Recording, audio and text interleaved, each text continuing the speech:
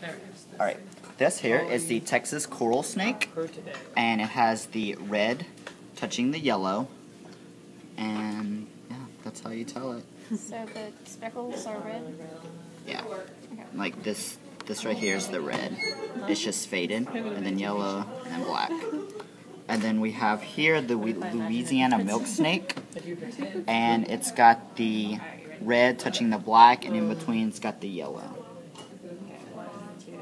And so the the red and the yellow do not touch, and you can memorize these by red touches yellow, kill a fellow, red touches black, friend of Jack. It's not actually green. So that's why you know that the Texas coral snake. sexist one, which is Venom Black, rather than friend, because it's you know, friend of Jill too. So this one has got a neurotoxin, See right here, and then this this one what is would not be a poisonous.